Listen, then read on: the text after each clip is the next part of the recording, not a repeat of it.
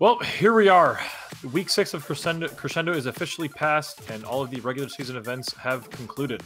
Tonight, we're going to take a look at four hot topics in the community as a whole. We'll break down the current game meta from week six that we saw at some regionals and district championships, a discussion related to match schedules, district championship alliance selections, and fun things in Houston that your team could take advantage of while attending the championship.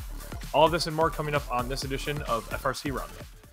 This video on fun is brought to you by viewers like you and also in partnership with the following. AndyMark is your one-stop shop for all your robotics competition needs. Celebrating 20 years of quality robotics parts and superior service, AndyMark employees have over 200 years of first-team experience. From mechanical and electrical products to tools and hardware, head on over to andymark.com for high-quality and affordable solutions. Support Fun's content creators when you sign up for a membership on YouTube Join. You'll get access to special perks like emotes, loyalty badges, and Fun members will even get early access to our scheduled videos and more. 100% of this revenue will go back to our correspondents to help recognize their efforts. Click the join button in any YouTube video to pledge your support.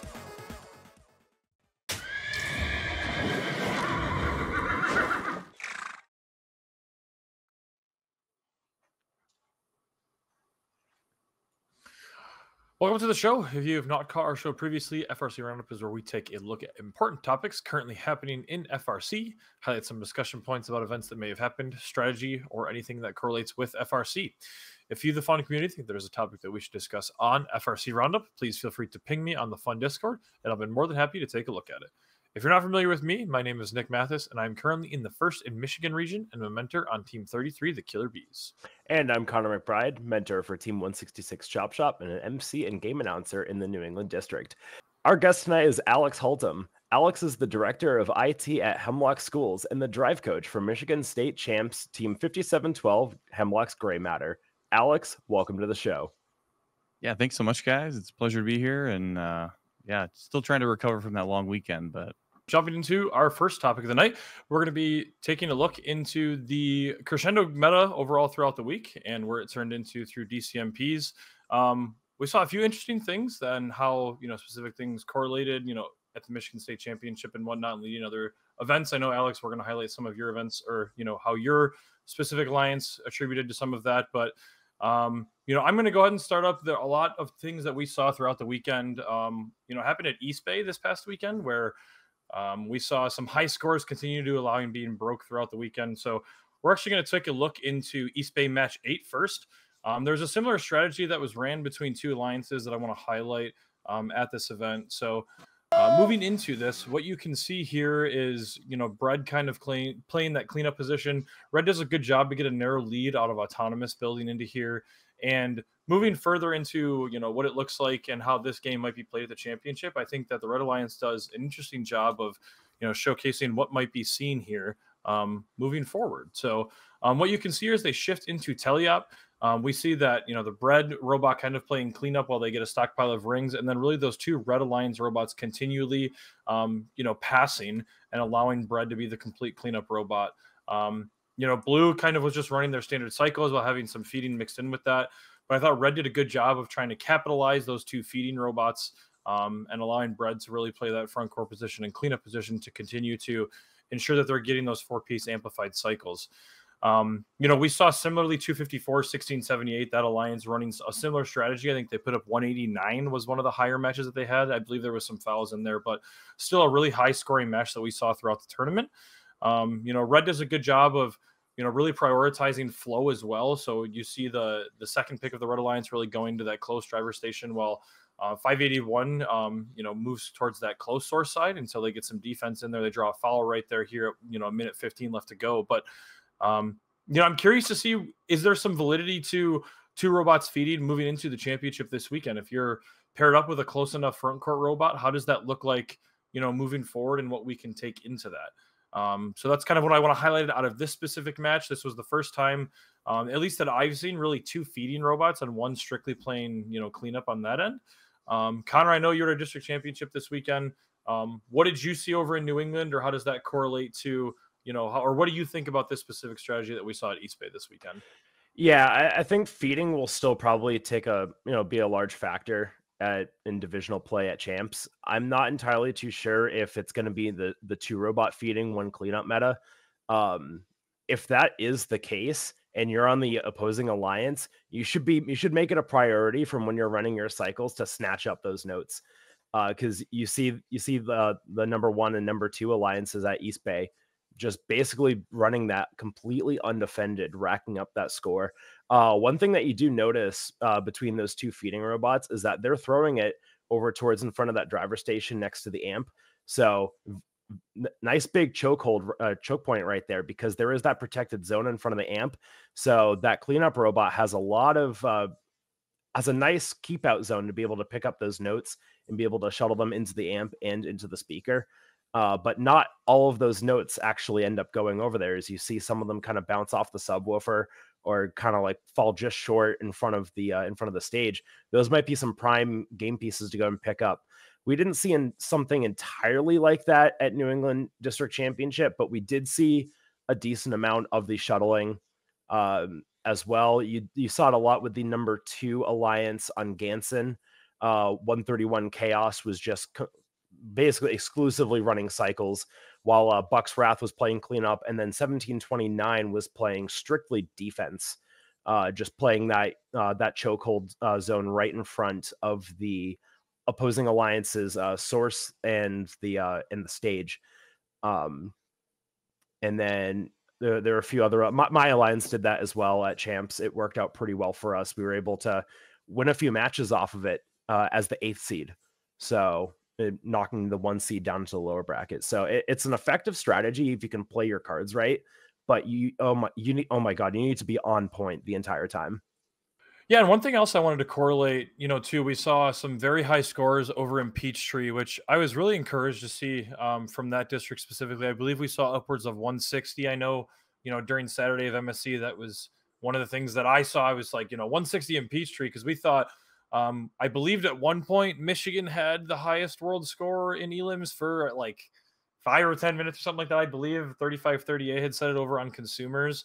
And then quickly right after that, the PCH score came out um, you know, where they were utilizing a, a, similar feeding strategy, but having a large stockpile of notes moving into that way. So excited to see that from Peachtree as well. I know Ontario, we saw a lot of high scores. PNW, we saw a lot of high scores. And I think that's really just the nature of this game where, you know, we're moving forward into more competitive events um, and, you know, other regionals that happen throughout the throughout the weekend. And um, you know I, am excited to see where this game is going to evolve into the championship. But um, alex i know we i saw you this past weekend at the michigan state championship. Congrats again on your big win.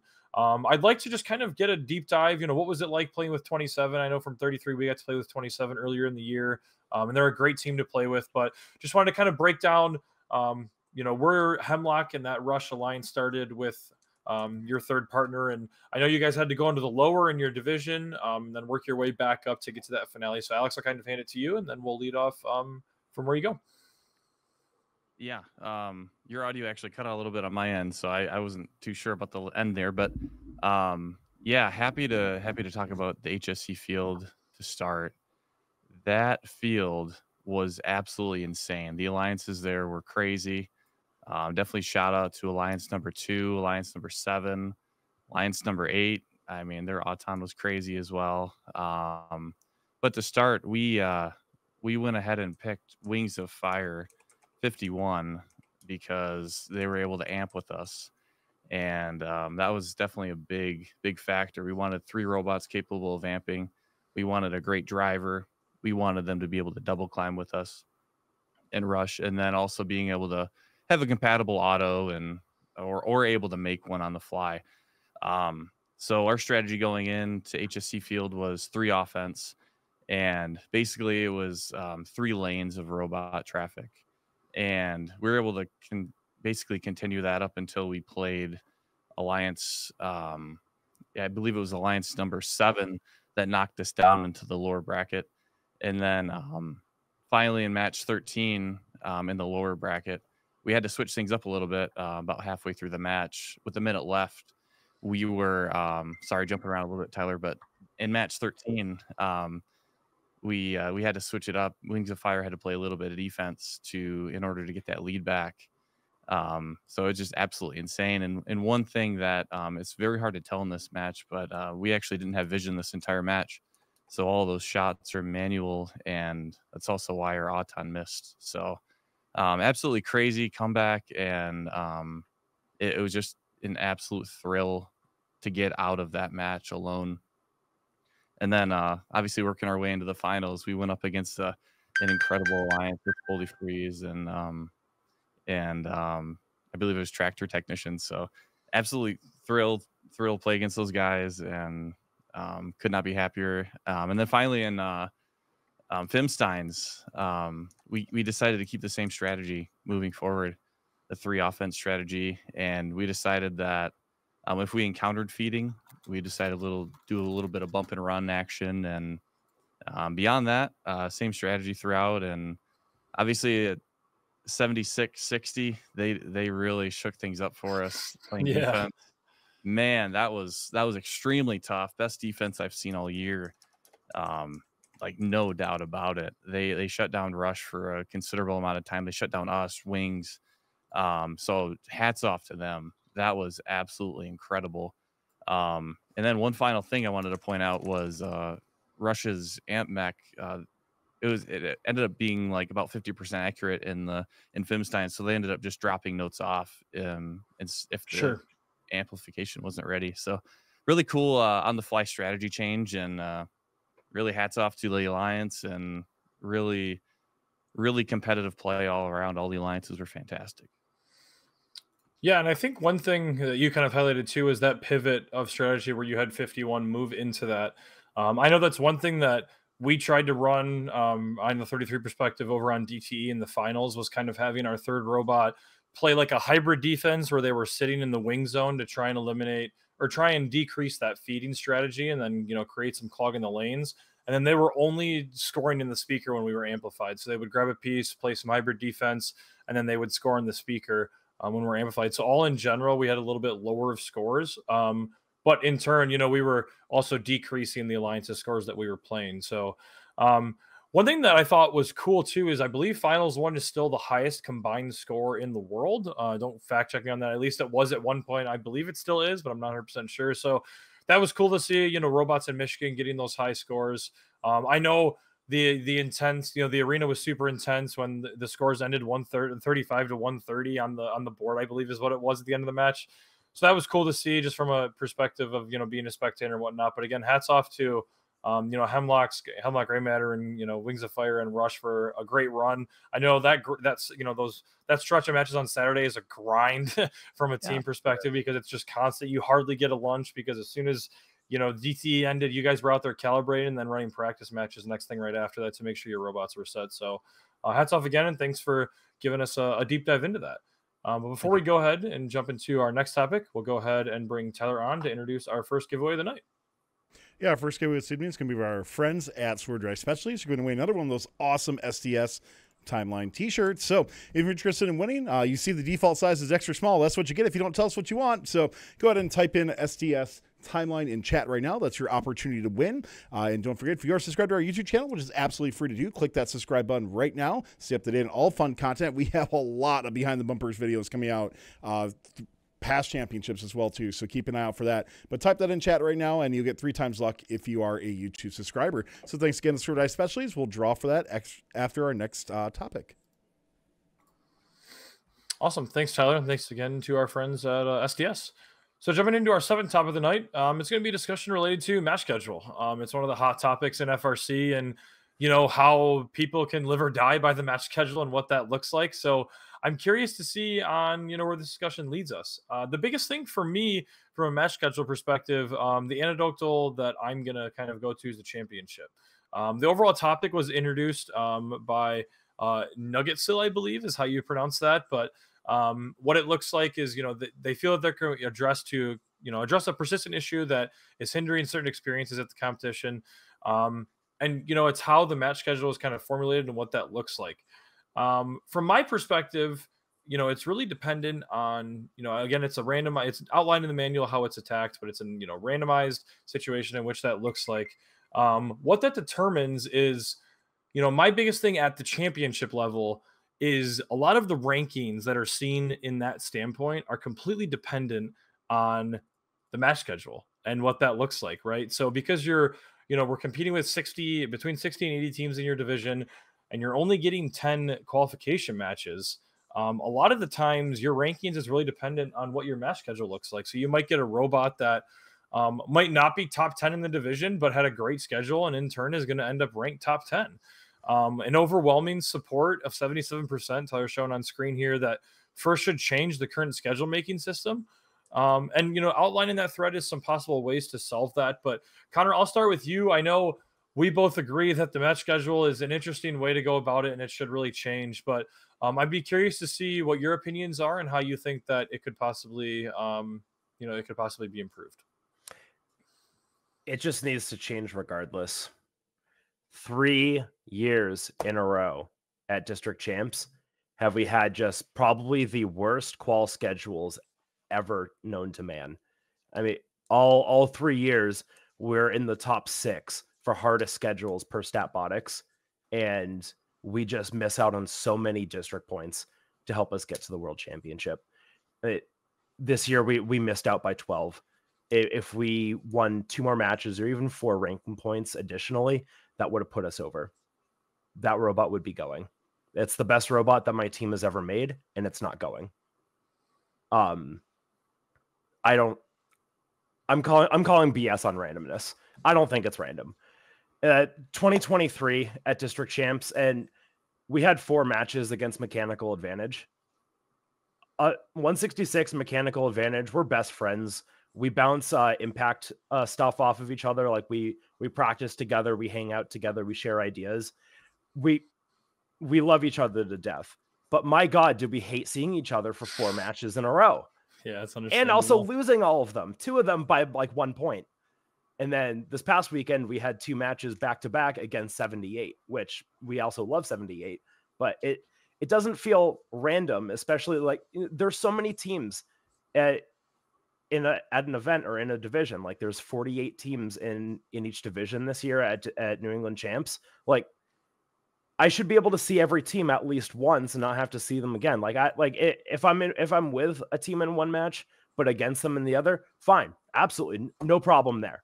But I shouldn't have to be against them four or five times in a row, or you know, it's there. There needs to be. I don't know if it, if you can base off of it by EPA from prior year, or if you get to a certain point in the season where like you get to your district championship or you get to the you get to the world championship and you can base it all off of uh, team performance from that year to make it a little bit more well-rounded yeah uh, sure you you might not see you know the the best teams potentially seeding all the way at the top but it's sure as hell going to make for some interesting qual matches and for some interesting playoffs for sure mm-hmm.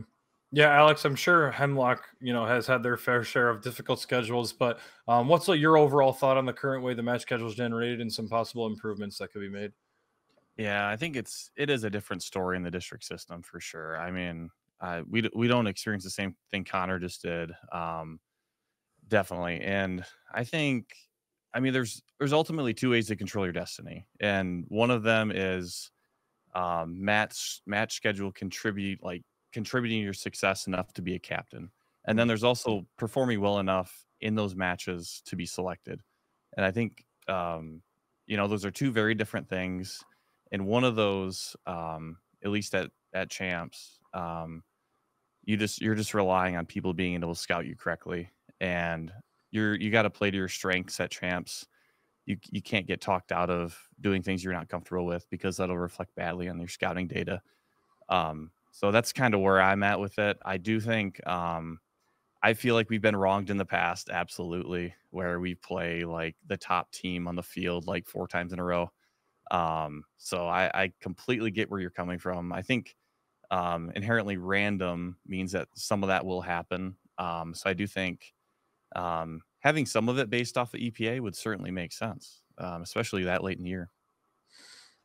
Yeah, the question that I have, you know, from like a first perspective is because, you know, EPA is done from a third party standpoint. Uh, you know, granted, the people at Statbotics are great and it's super useful data, but, you know, trying to incorporate that into what that turns into, I apologize, my glucose monitor is telling me my sugar is high. Um, but you know, it's an, it, how to inherently move that into a system where you know you're now you know EPA is game dependent, right? Like they use values that are based on data collected from the Blue Alliance standpoint and what that looks like Um, so I'd be curious to see how they could incorporate that. But I agree with Alex, you know, because it is random, inherently you're going to get some of those opportunities. And that doesn't make it right. You know, I agree with you, Connor. Unfortunately, there are scenarios that your team goes through where you're stuck playing for, you know, you're playing four of the most elite teams at the event and you're not with them ever. I know when I was with 4130, that's how I always felt when the match schedule. We were always against the elite teams and never got to play with the elite teams, which is, you know, unfortunate perspective. But um, you know, I think this is definitely the list of, you know, that could, you know, in general move forward and what that looks like on how to, you know, improvise it. But um, you know, Sean McNulty, you're welcome for covering the subject. Appreciate you creating the thread um, to bring a good discussion point. But um, with that being said, before we go ahead and jump into our third topic of the night, we're going to go ahead and bring Tyler back on to draw for that giveaway and hear from our friends at AndyMark. Yeah, once again, SDS timeline was the keyword in order to uh, enter for the awesome shirt that they're uh, providing for us. If you do win, just a reminder, go to firstupdatesnow.com slash winner in order to claim. Once again, firstupdatesnow.com slash winner. And since you are winning a shirt, please put your size. Uh, Anna, ANA, congratulations to you. Uh, you are taking home this awesome uh, shirt from uh, Swerve Drive Specialties. So go to firstupdatesnow.com slash winner. Say it with me, everybody. No. All right. So make sure you do that as well, too. Um, yeah. And a big, uh, big shout out to our friends at uh, Mark as well, too, for all our support they've been doing uh, for First Updates Now and Fun. An awesome company. Here's a little bit more about them and what they offer. We'd like to thank AndyMark and AndyMark.com for their continued support of fun content. AndyMark.com is your one stop shop for all your competition robotics needs. Featuring over 200 years of combined experience, AndyMark has now been in business for 20 years, servicing first teams and beyond.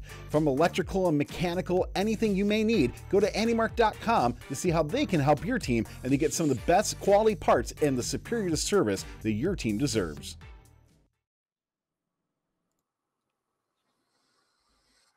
Awesome. Thanks again from our friends at AndyMark.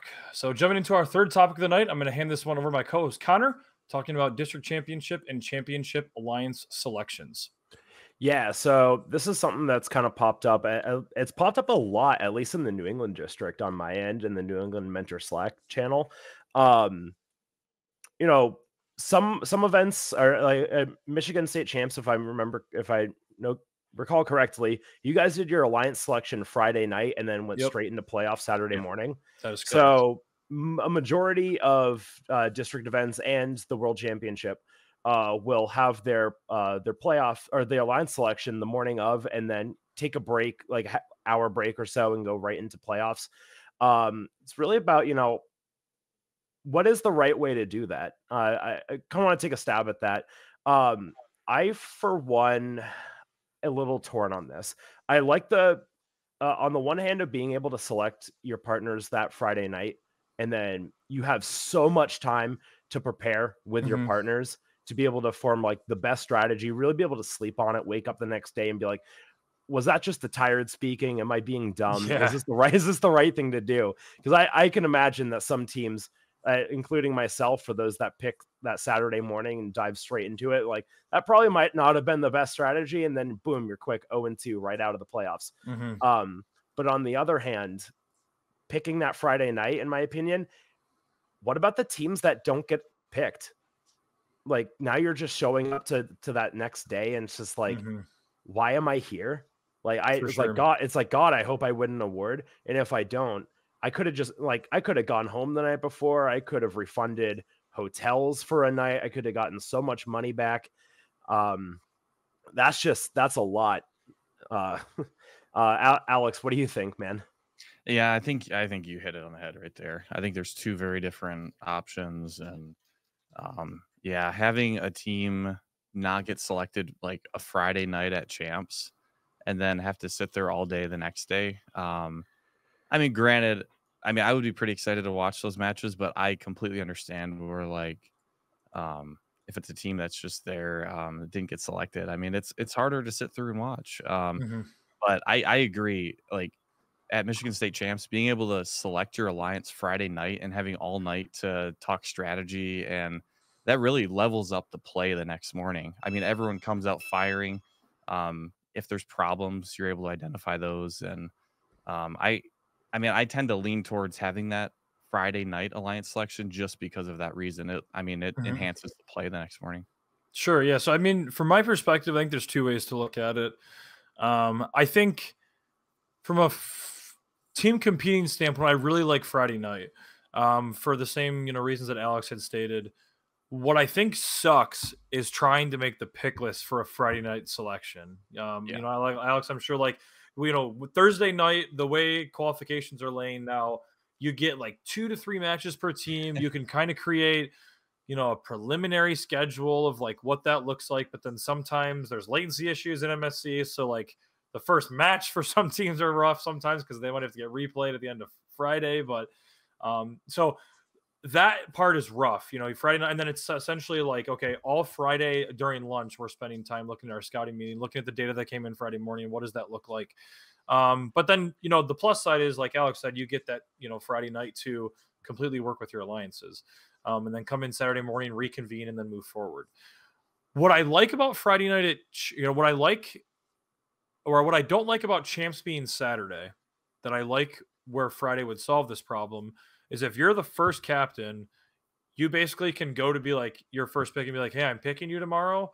Let's go and strategize and get ahead of everybody else because nobody else what's going to happen nobody else knows what's going to happen down the chain and you and i can sit and strategize for six hours and then you know reconvene our data and find the most ideal third robot that is going to help our strategy so in that sense with champ selection being saturday morning you're essentially giving a free six hours or however much time they want to spend into the wee hours of the morning free time that you know essentially is a disadvantage to every other alliance at the tournament. Now granted some teams at the top usually communicate with each other sometimes and you know they may be like hey we're going to go with this team and then you're if you're the two captain you can kind of do the same thing but hmm. past that point that's kind of where it gets really hairy. So from that standpoint i really like the friday night um, just because it gives all alliances an equitable amount of time to strategy that you know every alliance gets but i do like the idea of saturday because it allows you to really reconvene from scout a scouting data perspective so that's kind of my overall thoughts on the topic but um, Tyler, you also had a question you wanted to jump in for? Well, yeah, the question I want to ask for those uh, for you two who are at Michigan in particular, having a uh, a Friday night alliance selection was. Did you notice like a significant less number of teams attending on Saturday, with a lot of teams like not being qualified? Like, I know there's always people like we're going to stick around for awards, but in my Mhm. experience, at least reality, some teams do go home, and I'm not saying that's good or bad or anything like that. But did you did either one of you notice a discernible difference uh, in that at all? So I had noticed there was a couple teams across the pit aisle for Musthead went home, but to be honest with you, and like I don't mean any ill will by this, but the teams that do go home, um, they're really just making room for all the extra people that come Saturday at MSC. Like Alex, you know, like the the like the stands are rough on Thursday and Friday.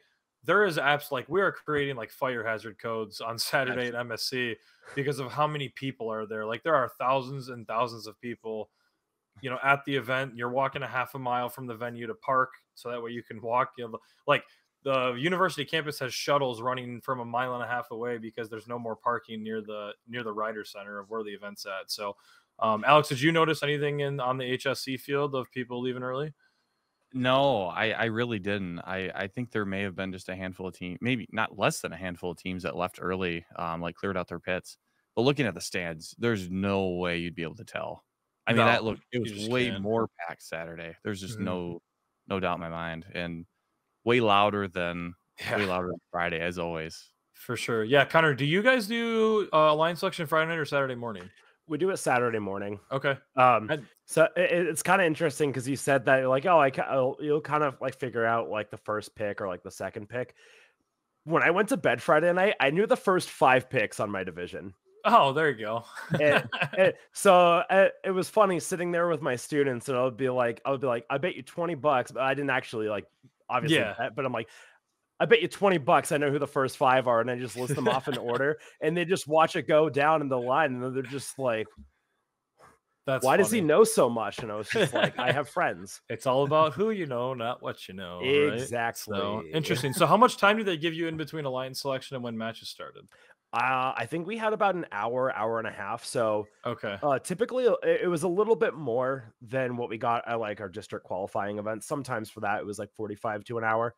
Um, I, Sure. I I almost kind of forgot like how like didn't realize how much time I had at district champs because it was like we went through our match strategy before we broke down our pit and brought it closer to our field. Um, and then we finish everything up. I checked the time, like, all right, I guess I can like go get breakfast or something, or Yeah. uh, order Domino's, have it delivered in 30 minutes. Like, yeah, I, I had a lot of time. It was nice. For sure. Awesome.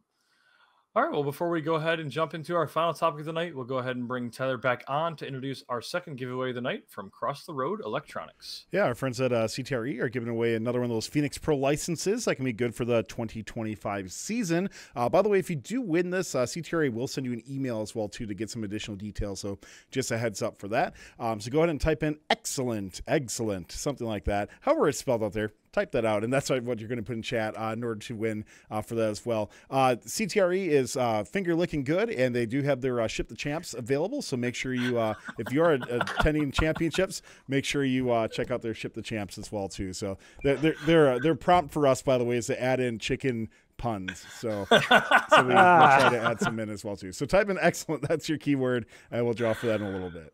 Oh, that was a good one. I'll give you props for that one, Tyler. All right, final topic of the night. Uh, we're gonna go, let Connor uh, go ahead and lead this one as well, but uh, we're gonna talk about some fun things if in Houston uh, for your team to do if you have qualified for the championship next week. So you qualified for Houston, or maybe you're just going as a spectator like me. Uh, so a lot of teams will will come in, or spectators will come in like a, couple days before, maybe spend like a day or two after champs. You know, it's it, it's a big experience for a lot of teams. They're traveling to a place that they don't uh, really ever get to go to, or maybe this is their first time, or you have, or you're a team that's this is your first time you've qualified for the championship, and you got students who have never left home, or like this is their first flight somewhere. Like this, this is going to be a time to remember. So you want to go and do some fun stuff. So we have provided an awesome website called TripAdvisor, which is showing some of the uh, the top things that you can do as a group. Uh, so you know, you have like the uh, the Museum of Natural Science. Everyone loves the uh, Space Center Houston. There's a zoo. There's an aquarium. You could go to a Buc-ee's. Uh, you you There's can go a- to Buc-ee's. We you can go to a. Buc-ee's, and I'm going to go to a Buc-ee's. I rented a Tesla for a few days, and I am Okay. excited. So, uh, going away from my muscle car for a, for a few days.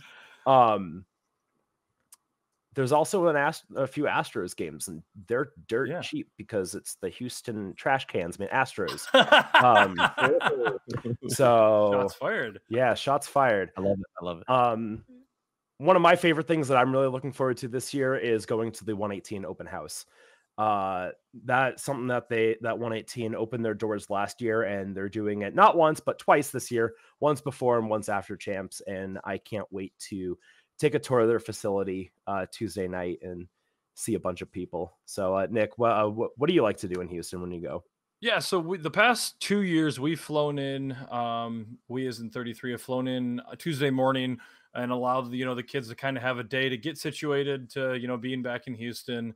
Um, it's a like it's an understatement. It's a super stressful week on students. You know, especially if you're competing week six and then kind of moving forward into the you know next week. It's it's a rough week to be a student.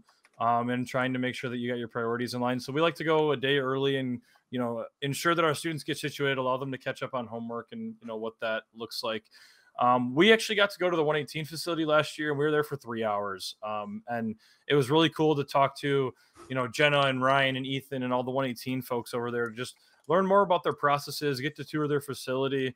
Um, it's it's insane. Like i don't really know like you want to talk about a model FRC shop on like what you want to strive for? Like it's it's the 118 facility. There it's top notch in every way. Um, we took a lot of uh, really cool inspirational stuff on how they organize some things. Like the way they organize their HTD belts on this belt rack and um, all of their uh, specific power tools storage it's, it's really interesting so yeah Connor when you get to go be sure to check that out but that was one of the cool things that we took away um, we've also been to a Houston Trash Astros game um, we did that in 2023 or 2022, I believe, as well. Um, Taylor Swift was in Houston last year. Unfortunately, I don't believe she's coming this year, so we're going. We'll have to not worry about that. But um, we'll be going back to 118 shop on Tuesday night. Um, Galveston is also a short drive away. Uh, it's only about an hour or two, I think. So if you're into beaches and uh, piers, I believe Galveston's going to be a good spot for you as well. But um, Alex says, you know, Hemlock, uh, you know, do any sightseeing before they, um, you know, get ready for the week of competition? No, it's all it's all uh, no fun. Okay, all business. only. Yeah, business only. But no, it's it's great. Um, usually, uh, a good portion of the team goes down Tuesday and is able to hit up the zoo and Yeah. um, a lot of people go to Astros games or trash can games and um, of course uh, just enjoying um, each other's company and For sure. eating good food and um, definitely taking time throughout the day to um, just just be out in the courtyard. It's you know 80 degree weather and just just soak it in the sun because usually Mhm. the weather in Michigan's pretty rough right now. Yeah, for sure. And I believe uh, Tyler said uh, Houston uh, Dynamo FC also has a home game on the 13th. So I believe that is soccer. FC is soccer. if Yeah, it, it's soccer. Their Oh. stadium's right nearby uh, where George. yeah, it's like Brown is. NRG, right? I think is what it's Yep. called. Yeah, so it's Mhm. right around the corner. But yeah, so you know, if you're into soccer, soccer might be a good fit too. But um, Yeah, the- mid the other- all week. right, okay, that's cool. Wow. The good thing is if you're into food and you like barbecue, Texas is your spot. There's some great barbecue spots also around uh, around George R. Brown if you haven't got a chance to take a look. But um, before we go ahead and wrap up the show, let's go ahead and bring Tyler back on to draw for that giveaway that we mentioned earlier from CTR. Yeah, once again, uh, ex- excellent. I can't even say it right. It's the uh, keyword. uh, once again for that. Uh, if, if you do win, please go to firstupdatesnow.com slash winner. Uh, so we can get all that info. Um, just a reminder, it is champs coming up very soon. So we usually say two weeks for things. It might be a little delayed, but we'll get stuff out as quickly as possible. And I know our vendors will as well too. So uh, Bradley Gray, congratulations to you. You are taking home this uh, Phoenix Pro license. So go to firstupdatesnow dot com uh, slash winner in order to claim. And thanks again to both CTRE and SDS uh, for the giveaway sign, and AndyMark for awesome support. And also big shout out as well too to our new member uh, who is somebody supporting fun on YouTube, and that's uh, Carl as well too as everybody else uh, and anybody else who has uh, stepped up as well. We really appreciate it. Plus, you get early access to some of our videos we're putting out. Awesome. Thanks, Tyler. And thanks again to our friends at CTRE. Thanks, everybody, for tuning into FRC Roundup. Special thanks to all those who clicked that subscribe button or stepped up to help fund by becoming a fun member or supporter by clicking the join button. Your support really helps us continue to make great content. Don't forget, you can watch FRC Roundup archive at youtube.com forward slash first updates now and watch live Mondays during the competition season. Thank you to Alex, our guest, from coming on again tonight. And on behalf of our producer, Tyler Olds, my co host, Connor, and all fun correspondents, I'm Nick Jr., and thanks for watching. Good luck to all teams competing at this year's first championship. This show will be back Monday night following the World Championships. We won't be on next Monday, but we'll be on the Monday after the championship. And big thanks to our moderators in chat as well. See you next time where we take a look at what is going on with First Robotics on FRC Roundup. Thanks, everyone. This video on fun is brought to you by viewers like you and also in partnership with the following. AndyMark is your one-stop shop for all your robotics competition needs. Celebrating 20 years of quality robotics parts and superior service, AndyMark employees have over 200 years of first-team experience. From mechanical and electrical products to tools and hardware, head on over to andymark.com for high-quality and affordable solutions.